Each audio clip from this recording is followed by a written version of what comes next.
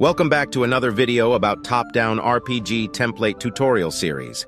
In our previous video, we created our own enemy character and learned how to make it move and attack.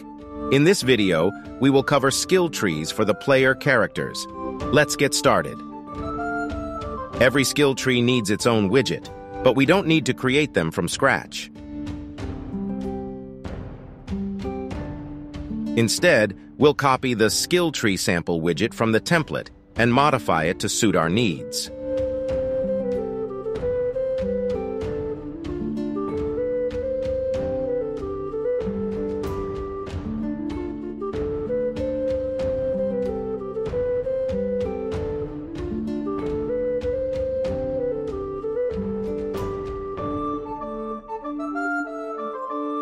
By default, a skill button is already included in the widget. You can duplicate it to add more skills, but for now, we'll set an existing skill ID to this button. In another video, we'll cover how to implement new skills. The skill button's UI will automatically update based on the assigned skill ID. Next, we need to create a data table to store our skill trees. The documentation provides the structure for the skill tree.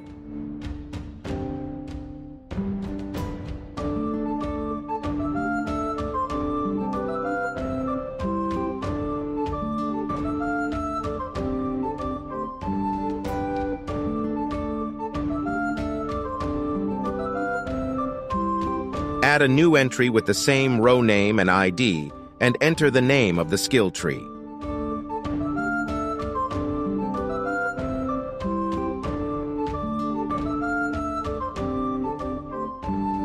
This is the name of the Skill Tree tab on the UI. Add all the skills that are part of the skill tree to the list.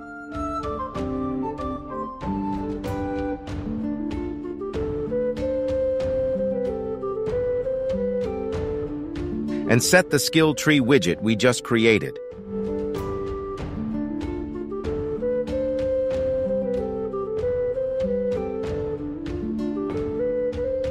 Go back to the player character data table and assign the skill tree ID for your character. Save everything and test it out. Press T to open up the skill tree dialog. You'll notice that the dialog is currently empty and that we have a bunch of errors when we stop playing. This is because the game doesn't recognize our skill tree yet.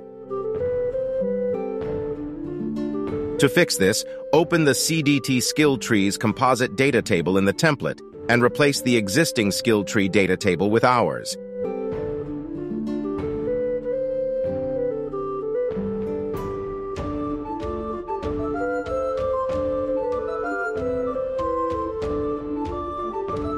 Press play and check it again. This time, the skill tree should be present.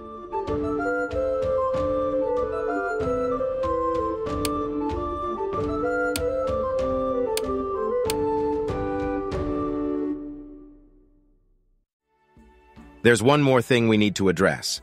In a previous video, we replaced the default enemy data table with ours, and that data table doesn't include this enemy character. This is why we're seeing errors. Let's copy this enemy character data into our data table.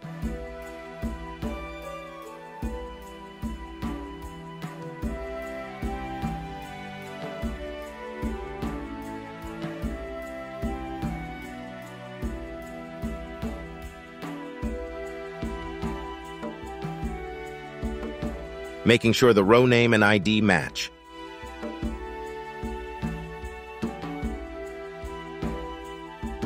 Save everything and test it out again.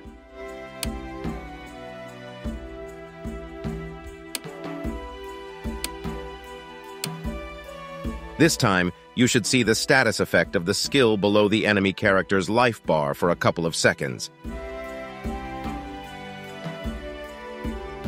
Thank you for watching.